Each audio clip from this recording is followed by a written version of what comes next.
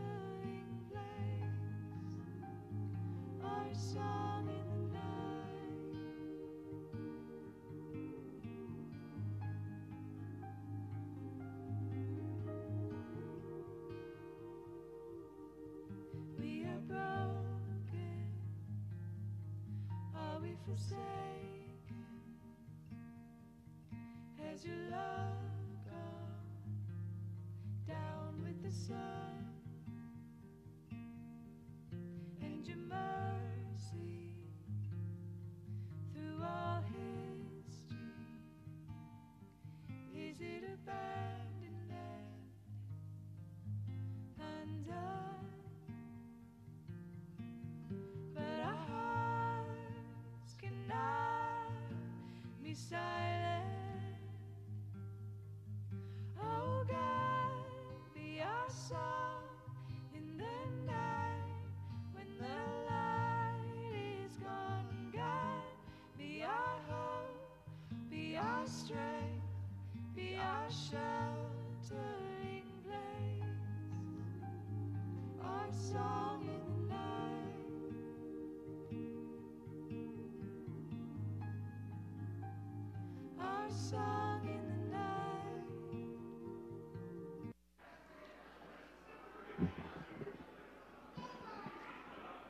Well, good morning. Welcome to welcome to church this morning.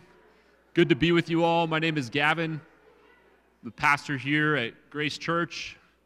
Thanks for joining us for worship today. As we begin, we have a few announcements that we want to highlight. Uh, the first, what you'll see on the back of your bulletin, is our Grace Women's Retreat. The retreat is April 19th through 21st. I encourage you, ladies, to attend. We have a, a, great speaker that we brought in. The retreat is happening up at Estes Park. It should be a wonderful time to build friendships, study the Word together, enjoy God's creation. So, if you are in any way interested in going and you're thinking about the cost and don't know if you can quite swing the cost, then uh, definitely talk to me or uh, talk to Barbara Scott, and we'll make sure that you're able to, to attend. We don't want cost to be a hindrance for anyone, but I encourage you ladies to attend. It should be a great time. So that's our, fir- our first announcement women's retreat. Second announcement is that we have our, our youth night for our third through fifth graders this evening. We always have our third through fifth grade youth night the first Sunday of the month. And so, just a reminder for you families who have third through fifth graders, that starts tonight, 5:30 to 6:30 in the lower level encourage you all to come. It's a great time. And then last, I'm going to welcome up Nick, the chair of our missions committee, who's going to tell us about an exciting opportunity. Nick Bergen. Thanks, Gavin. Uh, so my name's Nick. I'm the chair of the missions committee here at Grace. Um, I wanted to let you know about an opportunity that uh, our church has to have a mission trip to our sister church in Izmir, Turkey.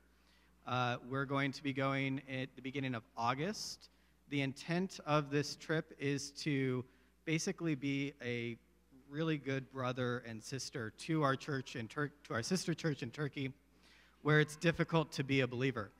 Uh, the idea is that over this long weekend, we would have a conference where uh, we'll review a book on prayer that they are currently translating into Turkish, um, and we would go through that with them and basically uh, study the Word, fellowship, and uh, engage with them on that level. So the dates are August 1st through the 4th.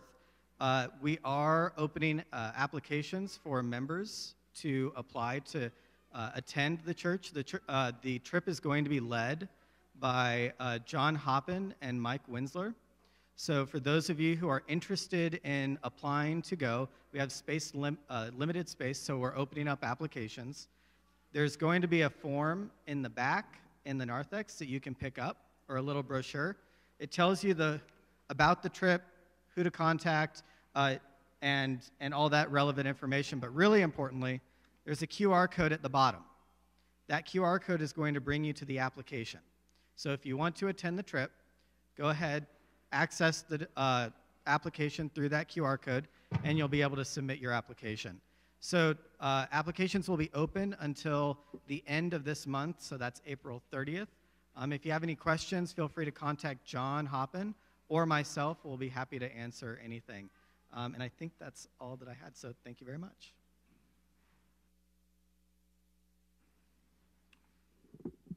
Thank you, Nick. You'll find in your bulletin uh, our flow of our worship service today. And so, as we begin our worship, what you'll see is that we have a call to worship. And the, the importance of highlighting this is that it is the Lord who calls us to Himself we don't initiate our relationship with God, but He initiates it with us. And so, would you stand now and hear the call to worship? Excuse me. Excuse me. I messed up. Please sit down. I'm so eager to worship. Um, apologies. At the top of your bulletin, you will see the welcome and reflection. There's a quote that we have selected to prepare our hearts for worship. So please hear this quote as we start to think about some of the themes that we'll be meditating on today during our service. Entering the house of God to dwell with God, beholding, glorifying, and enjoying Him eternally, I suggest, is the story of the Bible. The plot that makes sense of the various acts, persons, and places of its pages.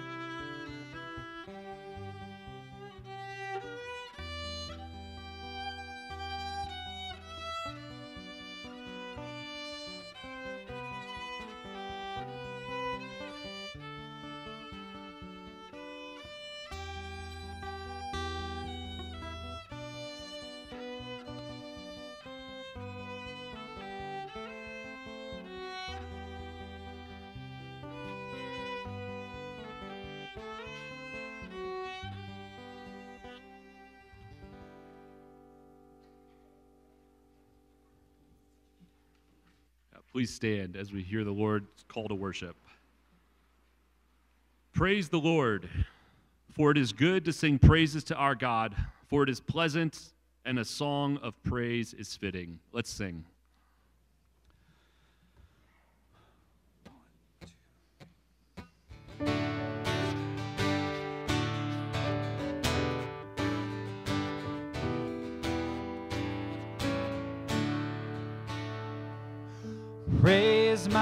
Soul, the King of heaven. To his feet your tribute bring. Ransom healed, restored, forgiven.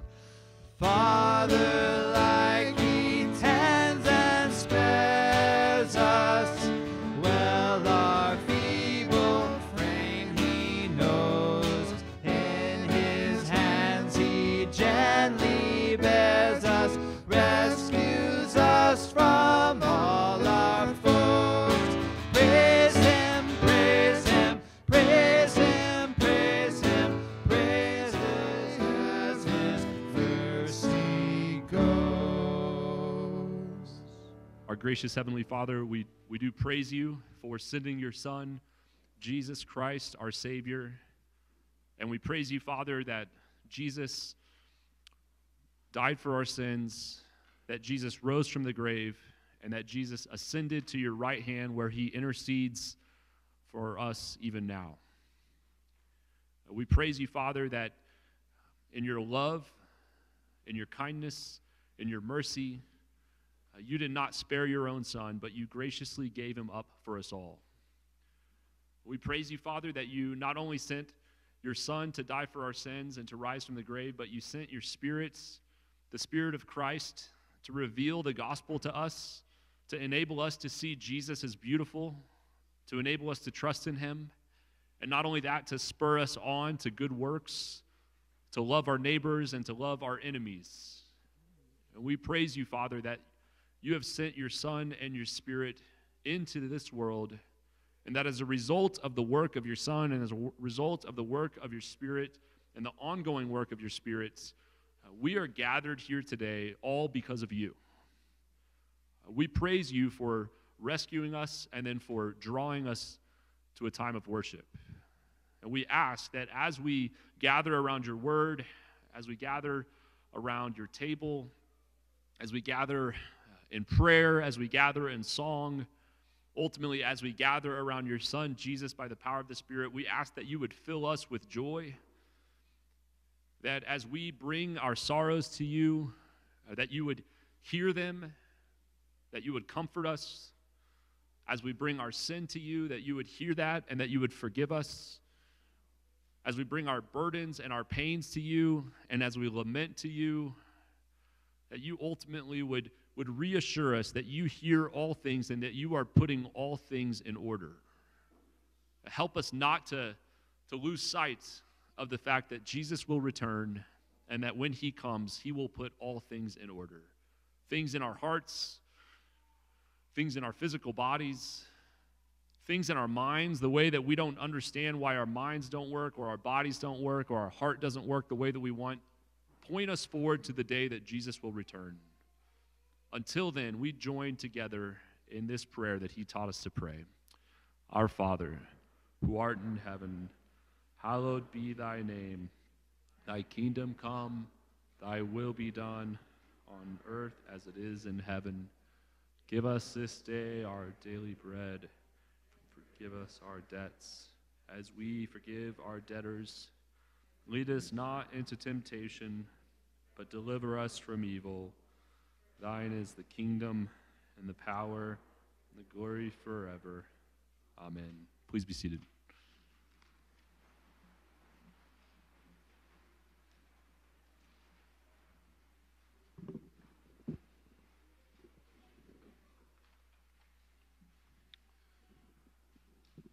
how wonderful it is that we have a holy God that we worship, and uh, that that God also offers us forgiveness for our sins because we are not. As uh, the hymn stated, He is slow to chide and quick to bless. Let's hear this uh, scripture from Exodus 22 through 3 that reminds us of our relationship to God. I am the Lord your God who brought you out of the land of Egypt and out of the house of slavery. You shall have no other gods before me. This is the word of the Lord. Let us confess together from the Book of Common Prayer our sins. Afterwards, you may take a moment to uh, confess your own sins in silence.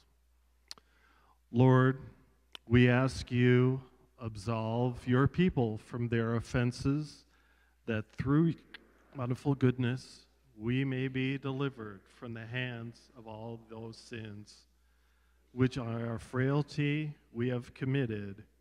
Grant this through Jesus Christ our Lord. Amen.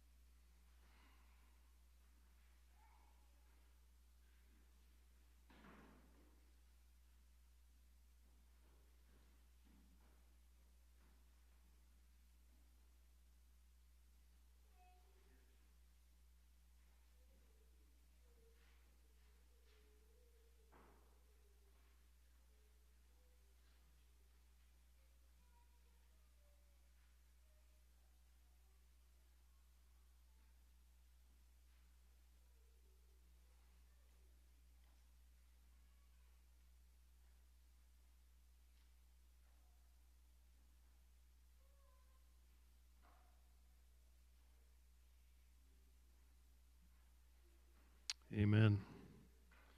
Let's stand for the uh, passage in Colossians 1 for our assurance of pardon.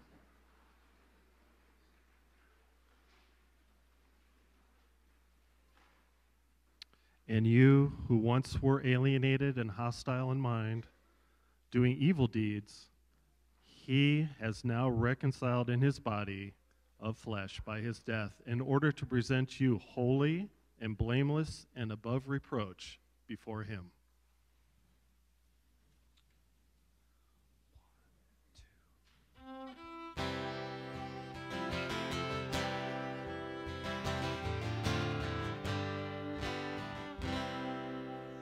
Lord, with glowing heart I praise thee for the bliss thy love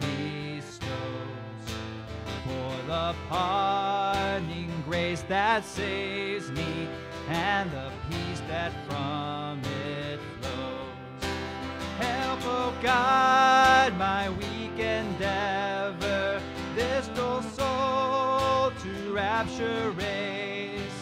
Thou must light the flame, or never can my love be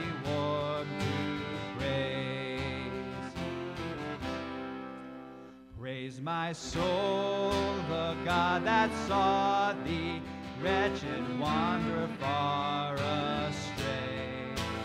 Found thee lost and kindly brought thee from the pass of death away. Praise the love's devoutest feeling, him who saw light of hope revealing, bade the bloodstained cross appear. Praise thy Savior's God that drew thee to thy cross new life to give. Held a blood sealed pardon to thee, bade thy look to him and. Praise the grace whose threats alarm thee, rouse thee from thy fatal ease. Praise the grace whose promise warned thee, praise the grace that whispered peace. Lord, this bosom's ardent feeling vainly would my lips thy footstool kneeling, deign thy suppliant's prayer to bless. Let thy love, my soul's chief treasure, love's pure flame within me raise. And since words can never measure, let my life show forth. Let thy love, my soul's chief treasure, love's pure flame within me raise. And since words can never measure, let my life show forth thy praise.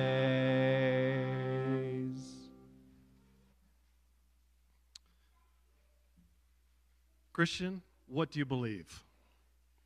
I believe in God the Father Almighty, maker of heaven and earth, and in Jesus Christ, our only Son, the Lord, who was conceived by the Holy Ghost, born of the Virgin Mary, suffered under Pontius Pilate, was crucified, dead, and buried.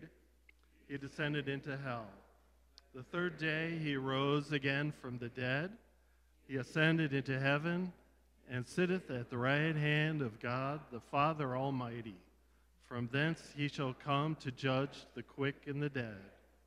I believe in the Holy Ghost, the Holy Catholic Church, the communion of saints, the forgiveness of sins, the resurrection of the body, and the life everlasting.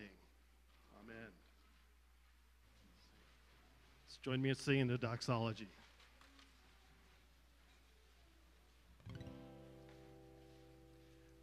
Praise God. Sorry, that was too high. Praise God from whom all blessings flow. Praise Him, all creatures here below. Praise Him above, ye heavenly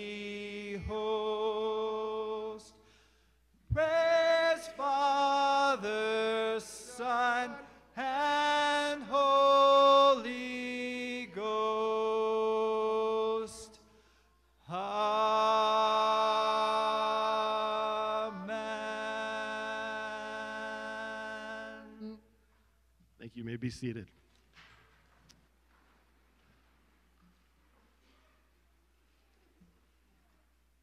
Come to the time in the service when one week we can show our love to God is through our generosity, just recognizing how God, through Christ and the work of its Holy Spirit, has been generous to us. And so we are, we'll be passing little baskets around to collect our tithes and offerings as a, uh, an expression of worship for our gratitude to the Lord. If you're visiting, uh, we don't in any way expect for you to give with everyone else, but uh, we just are thankful that you're here. So uh, as we prepare for that, I'm going to read 1 Corinthians 6 19 and 20 to help set our minds. Do you not know that your body is a temple of the Holy Spirit within you, whom you have from God? You are not your own, for you were bought with a price. So glorify God in your body.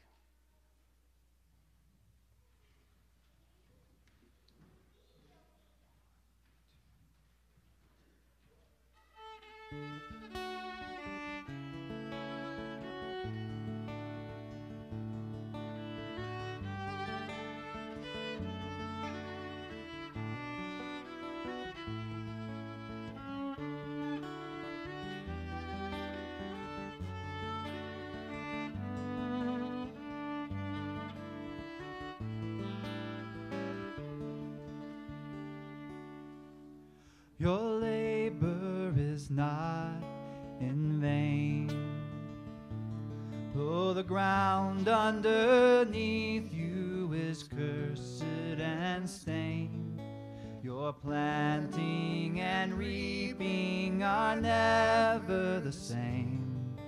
Your labor is not in vain. Your labor is not unknown. Oh, the rocks they cry out, and the sea it may groan. Of your toil may not seem like a home, but your labor is not unknown. For I am with you, I am with you, I am with you, I am with you, for I have by name. Your labor is not in vain. The houses you labor to build will finally with laughter and joy be filled. The serpent that hurts and destroys shall be killed, and all that is broken be healed. For I am with you, I am with you, I am with you, I am with you, for I have called, called you by name.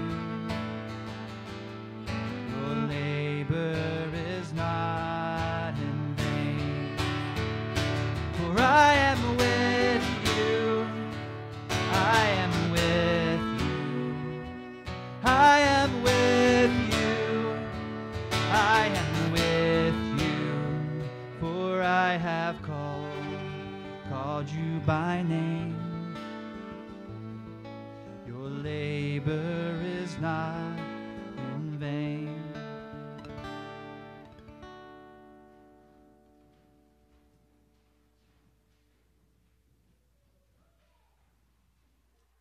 Just join me in prayer. Heavenly Father, we are so thankful for your presence with us here this morning in this most special way as we gather to worship you. You fill this place with your glory, and we are so thankful to be part of that, that you have called us to join you, for you desire a relationship with us. Thank you uh, for your generosity and for working in our hearts to return that generosity to you. We just thank you, too, that you've given us your word, and we ask that you would soften our hearts and open our ears as we hear the reading of your word and the preaching of your word, that it would enlighten us and encourage us, and even it might uh, prick us to draw closer to you in ways that uh, we were avoiding. Just thank you for your faithfulness to us. And uh, we praise you through the name of Jesus. Amen. Okay, children ages three through third grade are now invited to mosey to the back and line up to go down to uh, have a time of learning. And if you uh, would prefer to stay with your family, that is also fine. So we invite that. We just like this opportunity to encourage our children to join in the faith that we have.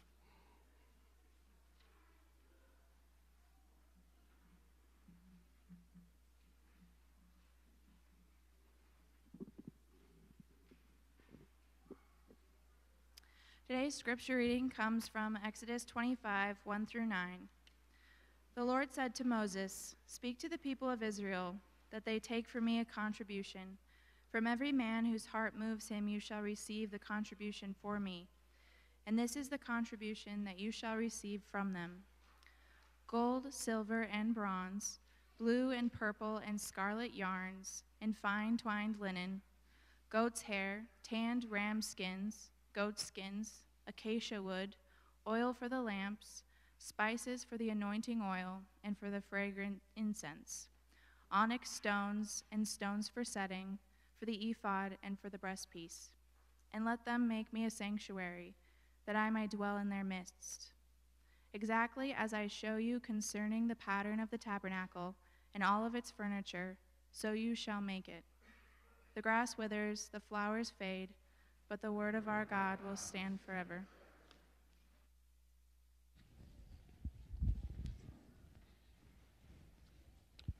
Thank you, Aaron. Well, this morning we continue our series in Exodus after a few sermons in John during Holy Week. The first thing that I want to mention as we turn to God's Word is a, a word of thank you.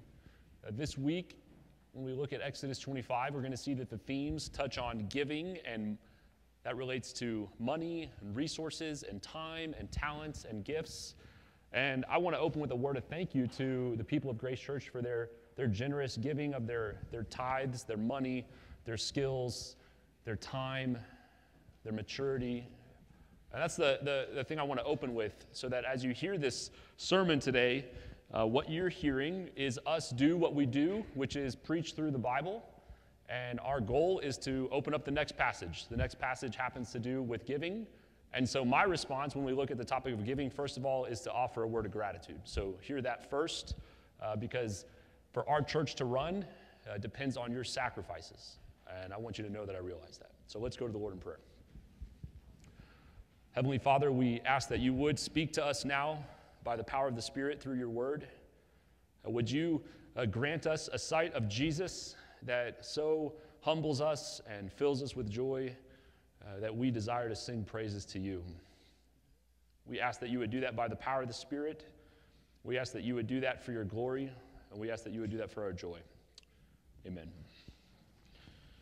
Well, there are few things more troubling than hearing stories about financial fraud and ultimately the innocent people who lose their hard earned money through some scam. Some of you know people who have uh, been scammed. I know someone who's been scammed. It is uh, painful because of the embarrassment, it's painful because of the loss, the anger, the frustration. And unfortunately, it's pretty common in, in small ways and, and really large ways. One of the, the largest ways we saw was 20 years ago when Bernie Madoff apparently defrauded his financial clients of roughly $15 billion. In the last five years, um, it's the story of Sam Bankman Fried and his cryptocurrency fund, FTX, which lost about 8 billion for customers based on his fraudulent behavior. Now, not trying to make any judgment about these men, this is just what the courts have said about them. I bring these stories up, however, to illustrate how important it is that a financial services company be tied to actual reality and not just to, to some imaginations of the person in charge or not some idea that they can ultimately pull it all together or of course just that they are maliciously stealing from people these things are not going to in the end pay the bills so it's important that a financial services company be tied to actual reality now that's thinking in a very large category billions of dollars but it's actually true in small ways as well Many of you probably use a banking app on your phone, I would imagine. Some of you at least do. I'm not saying you should or you shouldn't. I'm not intending to give any advice about financial services in this message, just know that. But I am bringing it up because it's fairly common to use a banking app. Imagine, though, if your Wells Fargo app or your, your Chase app had no connection at all to an actual bank. No connection you would never manage your money through that app. It's not just that it would be unwise, you would be happy to know that you should just delete that. You would want nothing to do with that fake app. And the reason is the app or the financial service company must be tied to reality. This same principle undergirds our section of Exodus today.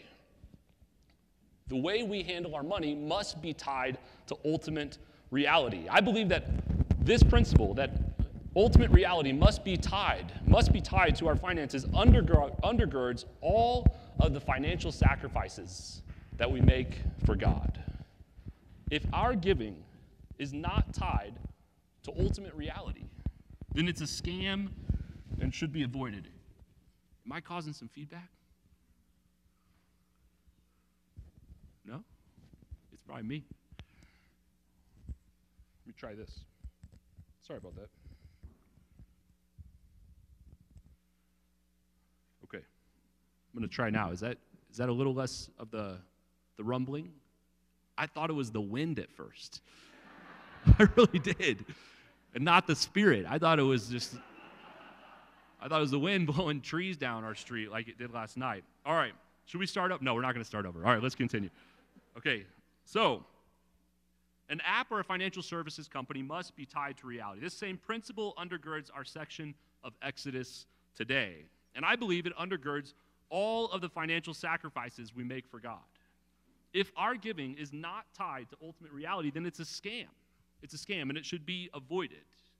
Now, to put this another way, I believe that the people of God grow in their willingness to give to God when they are confident that God is the one receiving their gifts. The people of God grow in their willingness to give to God when they are confident that God is the one receiving their gifts. When I say ultimate reality, of course, I mean God. When we need our finances tied ultimately to God. Now, I'm gonna, I think we're going to see that in this passage in three points. Verses 1 and 2 of Exodus 25 shows us the motive for giving to God. Verses 3 through 7 shows us the cost of giving to God. And then 8 and 9 shows us the goal of giving to God. The motive, the cost, and the goal of giving to God. Now let's start by seeing the twofold motive for giving to God. First, in verse 1, it is the Lord who is speaking. It is the Lord who has told Moses, This is what you are to say to the people of Israel. This is what you're supposed to say to them. When, when, he, when we open up God's word, it is Him initiating some topic with us. In this case, He's initiating the topic of their stewardship of their resources. He's initiating and He's giving them the opportunity to respond to that initiative. The first motive that's in play whenever we think about giving is that God is the one who initiates this topic. God is the one who brings it up. It's a topic that's actually on God's heart. That's why it's in his word. That's why he wanted his people 3,000 years ago, 2,000 years ago to talk about it, and that's why he wants us to talk about it. He initiates. And that tells us about what our motive should be. Our motive when it comes to our finances should be responding to God's will. That's ultimately what this first point tells us. He's the one who initiates, and so we want to see ourselves as responding to God when it comes to our finances. Now, the second reason, and the, and the bigger one that I think we see from this passage, is, is that it has to do with our hearts. The book of Exodus, in many ways, is all about the human heart. What happens to Pharaoh over and over again? The reason why he fails to respond to God, his heart was hard. Here we see in these verses that God wants his people to give if they are motivated in their hearts to do so. You look at verse 2 From every man whose heart moves him, you shall receive the contribution from me.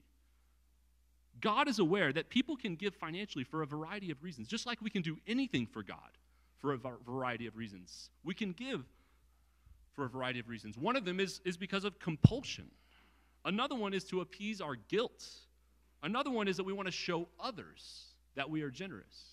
There's a variety of reasons we could give. But all three of these compulsion, guilt, or vanity are explicitly critiqued in the scriptures. Paul tells people in 2 Corinthians to not give because of compulsion. That is because you, you just feel like you have to. I have no other choice. I have to. Nope, don't do that. Judas gave his money back that he received from the temple leaders after feeling guilty for betraying Jesus. Sometimes we give out of guilt. And then Jesus tells us in the Sermon on the Mount not to sound a trumpet when we give, that is, to show other people that we give so much. Some churches will put plaques up in a room when somebody uh, donates money. And ultimately, I, I think that's an unwise principle because Jesus said, don't, don't brag about your donation to the church. So, people can give for a variety of reasons compulsion, guilt, or to show others that we're generous. But instead of these wrong reasons, God tells us that He wants us to give because we want to. Because we want to. He tells us that He loves a cheerful giver in Second Corinthians. Now, to try and illustrate this is, is, is not that easy because it's a principle that we all know and understand. So I'm going to try and, and, and drive it home for us with a, a silly illustration from a movie. There's this movie with Jennifer Aniston and Vince Vaughn where they are in a fight. Aniston wants Vince Vaughn to help her do the dishes. Now, after she begs him while he's playing video games to do the dishes, he finally agrees. He finally says, okay, but he's got such a bad attitude that she says, hey, you know what, just forget it, okay? Just forget it. I don't want your help. And he says, I, I told you I was going to do the dishes. Why are you mad? And she says, I want you to want to do the dishes. And he replies, Why would anyone want to do the dishes? Well, needless to say, the movie is called The Breakup. the point is that if we don't want to do something, it does not bless the person that we are helping. If we do it for compulsion, or if we do it to appease our guilt, or if we do it to show others that we're generous, it doesn't bless God. Motive matters when we give of our time and our resources and our skills. If one of you said, Gavin, love the sermon, I'd like to donate $10 to the coffee fund downstairs. We don't have one, just so you know. But just remember, you owe me. I'd say, uh, no, no, no, no. Keep your $10. Even if it was a million dollars, I'd say keep your, your, your money. Our motive matters in our giving to God. If we do it to show off or because we just feel like we have to, it doesn't bless God. Now, we see this for two reasons.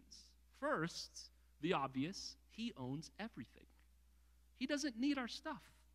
He created the world. He didn't create the world because he needed the world to then give back to him. That's not why he created the world. He created because he desired to grace creation with existence and fellowship with him. Now, imagine if a parent gave, if, imagine if a child, excuse me, imagine if a child gave their allowance back to their parents and said, Do you love me now? Do you understand the illustration? Imagine if a child gave their allowance back to their parents and said, Do you love me now? That would be a sign it was time for some family counseling. But we have to remember that our giving is not responding to God giving us something and then us saying, Do you love me now? No, He created it all. If He gives us anything, it's out of an overflow of His gracious pleasure that He wants to draw us into His divine life. Our motive matters. It's not just because He created everything. Our motive matters to God because motives determine, they're, they're a litmus test on relationships. If I give to God cheerfully, it demonstrates that the money, it demonstrates that the money is not the basis of our relationship. God's grace and God's joy and God's presence are generating joy in me that is the basis of the relationship. That is the reason that God wants us to give. He says, if your heart moves you, Israelites, if your heart moves you, then you can contribute. Then you should contribute. So the Israelites who heard this had to decide do I actually want to give to God? I mean, do I actually want to? Now, that question is a very good question for us all to consider on occasion. Do I actually desire as a response to rescue and redemption to give sacrificially to God. Now, right away, we have to caveat. Does this mean that we must always have a burst of spontaneous joy each time we make a sacrifice for the Lord? If I don't have spontaneous joy flowing in me, I shouldn't give. No. no that's not the implication. That would be a false dichotomy. There are times we do something sacrificial because we know it is the right thing to do. That's the bottom line. There are times that wisdom calls us to do things, even if we don't have a burst of spontaneous, spontaneous joy. We are to do it because it's the right thing to do. Wisdom calls for it. To not do it would be sin. That's the reality of how our motives work. There are times where we just have to do it. Another reason that we might do something is because we've established a good habit, and the momentum from the habit carries us into a wise decision.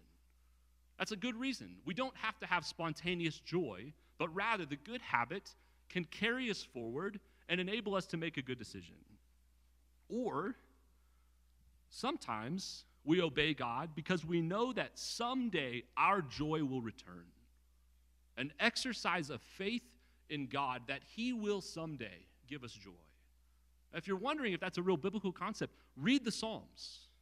All over the Psalms, the psalmists are crying out to God, expecting Him to give them joy someday, or some hour, or some time, or some decade, or some year. The reality is, in our Christian lives, we have to play the long game with our emotions. We have to play the long game. We have to think in decades. We have to think in generations about our joy. There are times when our joy doesn't spontaneously bubble up, enabling us to do the dishes, enabling us to love somebody, enabling us to give. All of these factors are legitimate and biblical. But occasionally, occasionally, we just need to ask do I actually want to give to? That's what this passage is, is trying to get into us to bring about the question that enables us to answer, you know, I don't know if I do. I might just be in a habit that I don't even think about anymore. I don't even know why I do this. This passage comes along and encourages us to ask a hard question of ourselves. And, and as your pastor, I desire for us to have a, a, a foundation based on grace for the financial dimension of our relationship with God more than I desire for our church to have predictable and stable financial health. Let me say that again. I believe the Bible calls us to have a gracious foundation for the financial dimension of our relationship with God more, more than it desires for our church to have predictable and stable financial health. The reason this is clear from this passage is because why we give matters to God. Why we give matters to God. He tells them if their heart moves them, they are to give. You see, God is the one who is responsible ultimately for the financial help of this, uh, health of this congregation. He has delegated us the responsibility of cultivating joy in our hearts as the motive for our giving.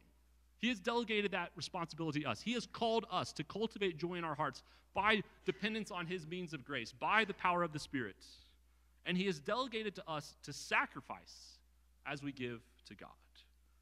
He has delegated to us the task of cultivating joy in the Lord as the motive for our giving and He has delegated to us to sacrifice as we give to God. Now, this second point is seen in our second point of our passage. The concept of sacrifice is seen in the point that I'm making the cost of giving to God. Verses 3 through 7 outline all of the different supplies that people were invited to contribute to the, to the construction of the tabernacle. All of the different supplies needed. People were invited to give. Now, in later weeks, we're going to explore how these supplies are shaped into the tabernacle and how that makes this beautiful tapestry that all comes together in this wonderful way. But for now, simply note the beauty and the value of the materials. Precious metals, right? Gold and silver there in verse, verse 3. Beautiful yarn. Some of it's red, some of it's purple. Animal skins that are already tanned, they've, they've already been worked on. They're ready for use. Oil, spices, perfumes, precious gems. This is an invitation, but the point that I'm making is it's a costly invitation. Sometimes nonprofits or political lobbyists will host a dinner to raise money, and people are invited to pay for a table or a seat at the dinner, right? You've, you've heard of this. Some of you have gone to some of these dinners. Typically, the cost for a seat is far more than the nonprofit pays for the dinner. Uh, but that's the point, right? It's a fundraiser. Now imagine if the cost of the fundraiser, fundraiser was your wedding ring. Imagine if everyone had to just give their wedding ring. You would, of course, be hesitant. But if the fundraiser was for cancer research, and you knew a person with the type of cancer, and you'd consider it. Now imagine if you had the cancer. You'd happily give your wedding ring or whatever was the most valuable thing that you had in exchange for the chance for your life being spared by the discovery of a cure. All of a sudden, the cost would be nothing because of your personal investment in the mission. All of a sudden, the cost of, of something very valuable to you wouldn't be even a sacrifice at all because of your personal investment in the mission. These are costly things that the Israelites were invited to give. But the personal investment in the mission enables them to think about their giving as an act of joy, as an act of their heart moving towards them. This is how God wants us to think about our giving as a sacrifice for His mission because we are personally invested. Now, I'm not hoping to see any wedding rings in the offering bag next week. Don't do that, okay? I mean, if you do, we'll find a way to liquidate it, all right? Don't worry. Just kidding. I'm trying to help us imagine what is on God's heart for our giving so that it shapes our hearts when we give. I'm trying to help us imagine that God wants us to be personally invested in His mission as a response to His mission of rescue. He wants us to think about the fact that this mission that we're giving to ultimately enables us to know Him more. I'm trying to help us imagine what is on God's heart for our giving. Why? So that it shapes our heart when we give. Now, this ultimately leads to our, our third point the goal of our giving. The goal of our giving, verses 8 and 9. The goal of our giving is to dwell with the God who gives his very self. Do you see how we are personally invested in God's mission? The goal of our giving is to dwell with the God who gives his very self. The people of Israel had a decision to make when God told them, when Moses told them what God said. They had a decision. Did they want their stuff, which they got for free from the Egyptians when they left Egypt? Do you remember all the Egyptians started just giving them stuff, basically saying, Get out of here, get out of town, here's all the stuff, just take it. Did they want their stuff, or did they want a sanctuary in their midst that God would dwell in? Now look at verse 8. Let them make me a sanctuary. Why? That I may dwell in their midst. The question for the Israelites to consider is when they look at their gems, at their beautiful, their beautiful yarn, their gold, their silver, their bronze, when they look at all of their materials, their time, they were going to have to build this thing, remember? Their skills, when they look at all of that, the question that, that the Lord, through Moses, is encouraging them to consider is whether they want this stuff or whether they want God to dwell in their midst. Do you ultimately see how giving is about our hearts? God wants us to consider that we already are personally invested in his mission. His mission is to draw us to himself. When we give to his mission, it is as though we are donating to a cause that's ultimately going to bring a cure for us. The difference is he's already brought the cure. He's already rescued us. He's already drawn us out. He's already, at the expense of his own son, ensured that we are personally not just invested in the mission, but that we are benefited from the mission, that it is already done, that the mission is over on our behalf. He is inviting us to be personally invested in that mission of dwelling with Him. God initiated the topic. God initiated the topic because He wants the hearts of His people. He wants the Israelites to consider what they actually want to consider what they're actually aimed at, to consider what they're actually willing to sacrifice for. I'm not coming to you asking you to give more to some project right now. I hope you know that. I'm not. I'm not asking you to give more to our, our, our weekly giving. I open with gratitude, and I hope that that's the main points. I'm preaching the next passage in the book of Exodus.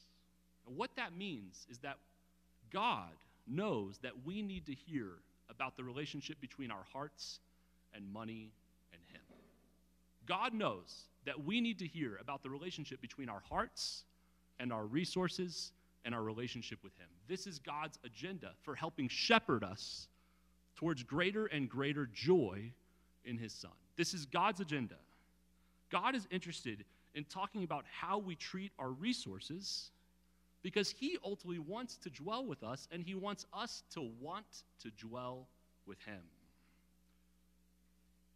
I believe God has the following to say about our resources.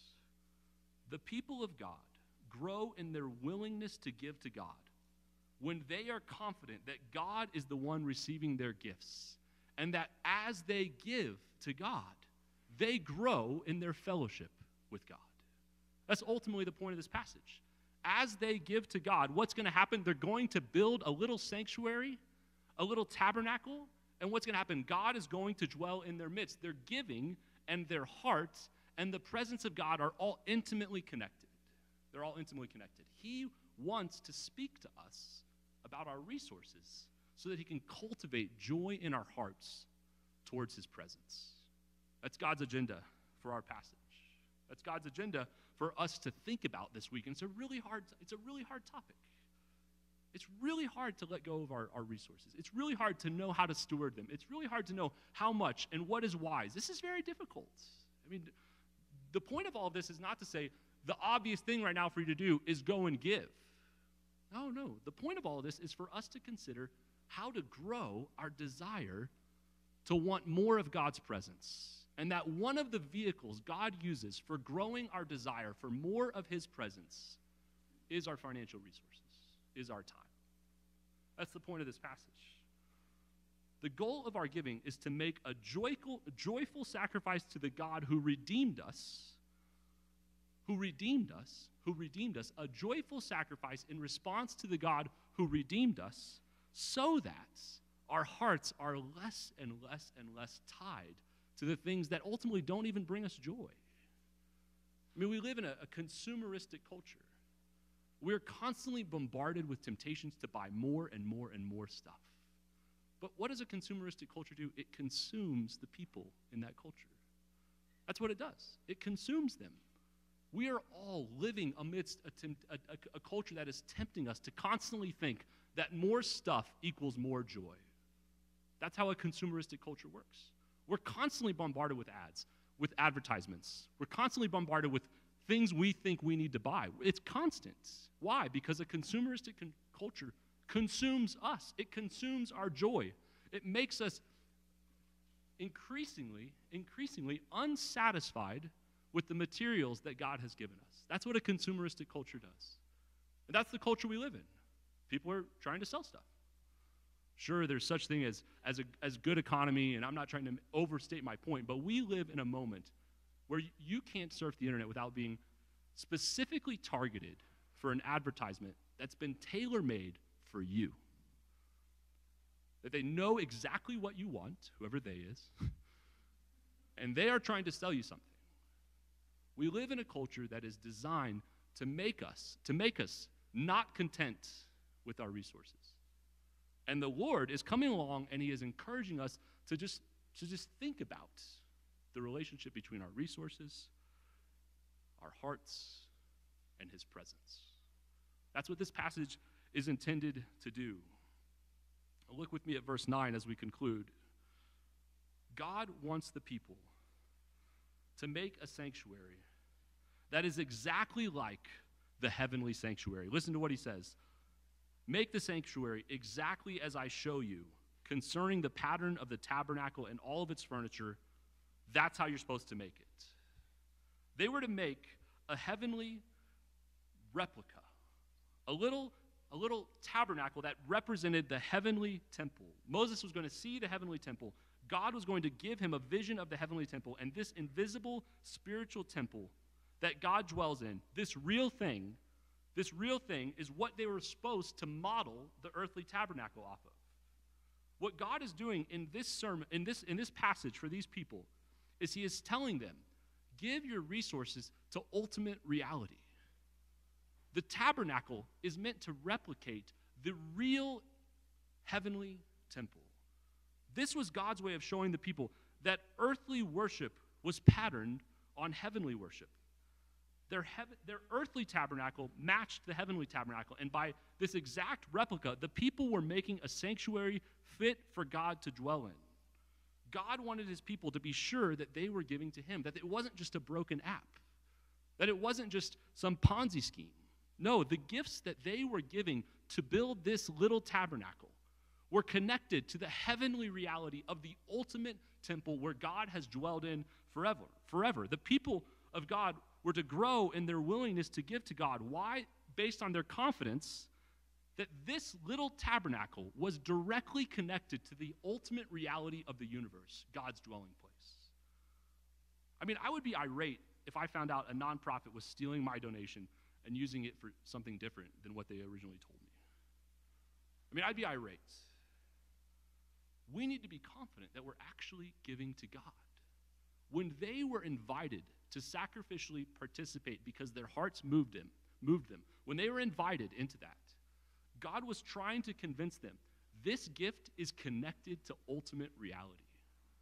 Your financial resources, this is what he's telling the Israelites, your financial resources are connected to this little tabernacle, which is a replica of the heavenly temple. They didn't have to wonder if there was a, a real bank behind all of this. No, it was a direct model. The direct model. Why? Because then it would be fit for God to dwell in. And then God would be in their midst, and their financial resources would be contributing in a personal way to his mission of dwelling with his people. We need to be confident that we are actually Hebrews 9, 11, and 12. When Christ appeared as a high priest of the good things that have come, then through the greater and more perfect tent, tent is tabernacle. Then through the greater and more perfect tent, the one not made with hands, that is not of this creation, he entered once for all into the holy places not by the means of the blood of goats and calves, but by means of his own blood, thus securing an eternal redemption. The author of the Hebrews is telling us what's going on in the heavenly tabernacle. The word tent means tabernacle. What do we know about this tent? It's not made with hands, it is the spiritual heavenly tabernacle. What's going on in heaven? What's going on in heaven? The, the, the heavenly worship, the heavenly temple, the heavenly tabernacle? Jesus is offering his blood to secure our redemption. That's what's happening in the heavenly tabernacle. The God man has entered into the Holy of Holies, not in some little replica, not in some little um, imitation of the real thing. No, into the actual Holy of Holies in the heavenly temple, the heavenly tabernacle. And what has he done? He has offered his own blood and secured eternal redemption for us. That's what's going on right now in the universe, in the heavenly tabernacle. The atoning sacrifice of Christ is the focus of the heavenly temple. Now, I had a visitor once tell me that here at Grace, we focused a lot on the blood of Christ. They were a little confused by it. I was so honored. I was so honored. That means that we are focusing on the heavenly temple. the more we focus on what is actually happening in the heavenly temple, the more we actually focus on the gospel of God, the more that we focus on the blood of Christ, the more we focus on the fact that by his own blood, not by the blood of bulls and goats, by his own blood, he has secured an eternal redemption for us, and that that is what is going on in the ultimate reality of the universe. The more we focus on that, the more we can be confident that our giving is actually given to God. I hope you see the connection. They were to build a replica of the heavenly temple and it make it exactly like the one Moses saw in his vision. Exactly like it. We know exactly what is going on in that heavenly temple. Christ's blood offered for our sins. They were to make an exact replica. We are to make an exact replica.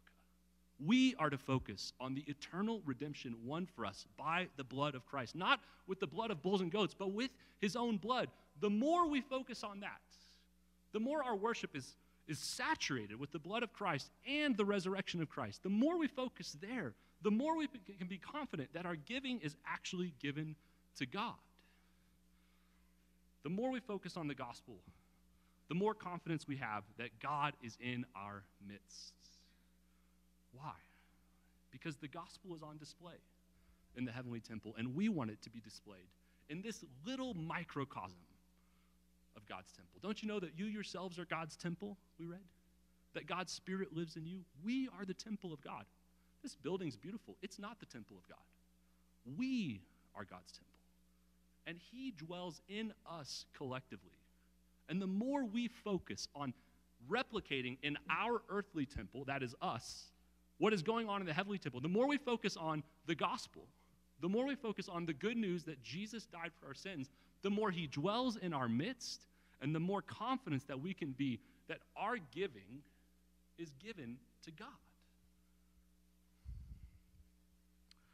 Hopefully, the point is clear. we are to joyfully respond to the gospel of God. It ensures that He is with us, and it ensures that we are with Him. The more we focus on this truth, the more our hearts are freed up when we ask the question, Do I even want to? We can actually respond with, You know, He died for my sins, and He rose from the grave for me. I desire to respond to that with cheerfulness. Or, or we can say, Lord, I don't have joy in my heart when I give, but I want to play the long game on my emotions. And I'm going to trust you to grow joy in my heart. Or, or, we can build virtue into our lives in such a way that when we think about what we want our lives to ultimately be built on, we say, even if my heart is not quite where I want it to be, I'm going to get on my knees and plead with God to grow in me a joy for His name and His presence to be magnified in my midst. These are all the options for us. The resource question is ultimately a vehicle to get at our hearts. The resource question of what to do with our giving is ultimately focused on our hearts. I hope that what you heard today I hope that what you heard today is that Jesus has died for our sins. And that the more we focus on that, the more confidence we have that He is in our midst. And the more confident that we are that He is in our midst, the more confident we can be that our giving, our service, our time, everything we do is actually focused on God and not ourselves. And this is what we want. We don't want to be subject to some scam. We don't want to find out that, there's some fraud going on. No, we want our giving to be given to God. The more we ensure that that is happening by focusing on the gospel, the more we can rest, the more that we can rest that we are personally invested in his mission. When you think about your giving, I urge you, I encourage you, I plead with you, I plead with you to focus on your hearts. Focus on your hearts.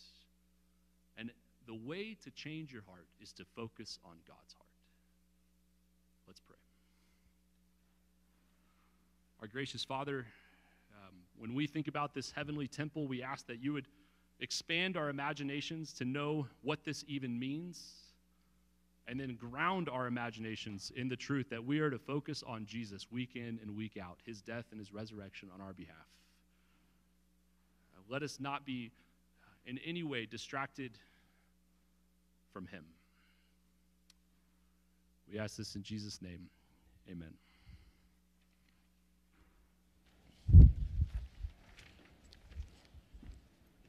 Well, another way that we know about the heavenly tabernacle is by meditating on the fact that we are on a trajectory to what is called the wedding feast of the Lamb. The wedding feast of the Lamb is going to happen in the heavenly temple, the heavenly tabernacle, where, where God's people enjoy a feast with God. Now, this little picture of that feast, this picture through wine and bread and juice, this little picture is ultimately pointing us forward to the ultimate reality of the universe, which is that the Lamb was slain.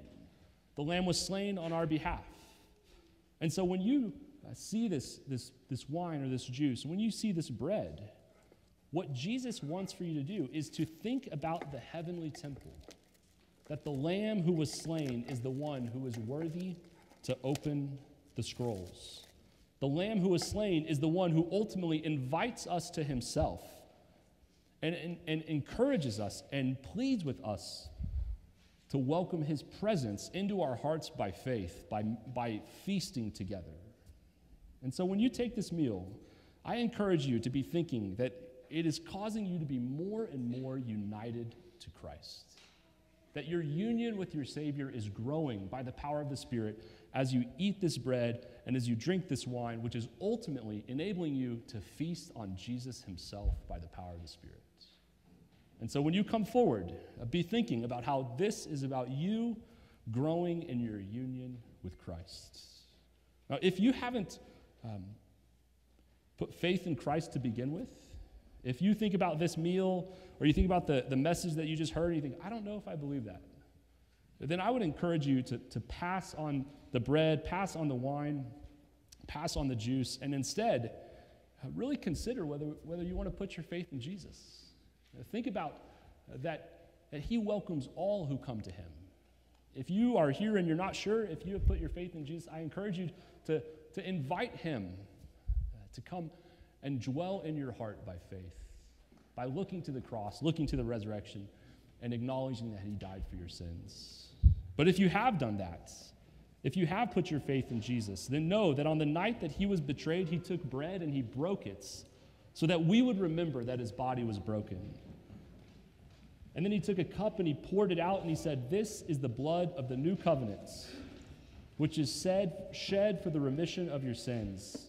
He is inviting you to come and feast on the gospel, the story that is true of the heavenly tabernacle right now. So, the way we celebrate communion here at Grace is we come forward in groups. I encourage you to come forward now, feast on Jesus in your hearts by faith. Come forward.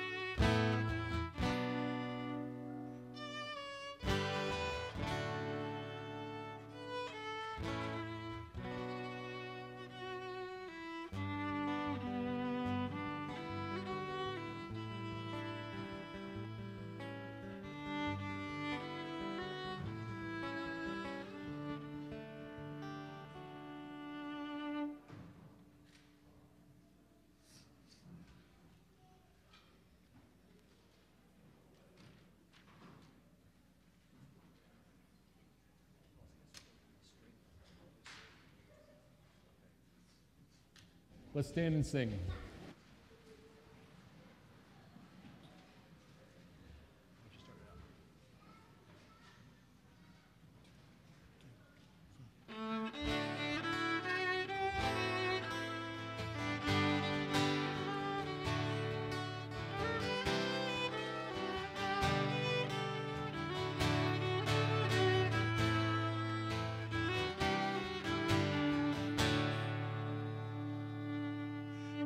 Lovely source of true delight, whom I unseen adore.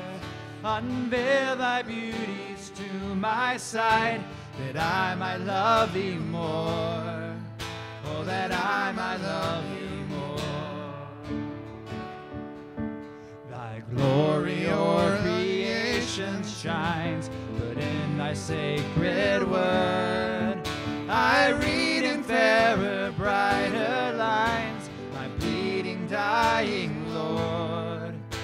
my bleeding, dying Lord. Tis here where ne'er my comforts droop, and sin and sorrow rise. Thy love with cheering beams of hope, my fainting heart supplies. Oh, my fainting heart supplies.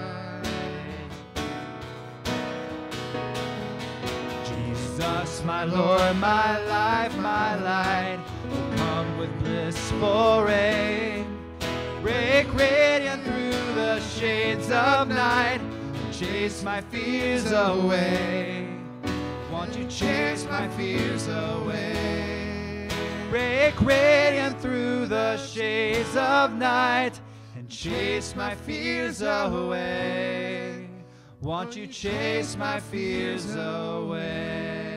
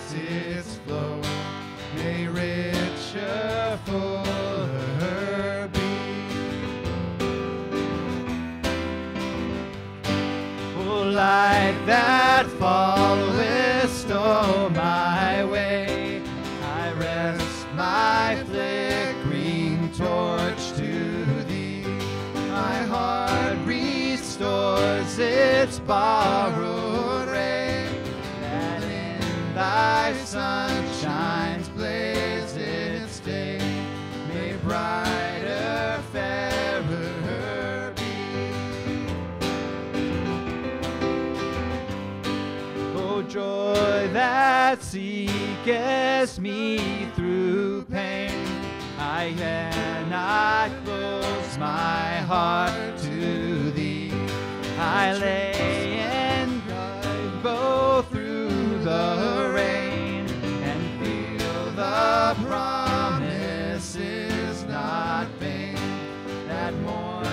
morn shall tearless be. O cross that liftest up my head, I dare not ask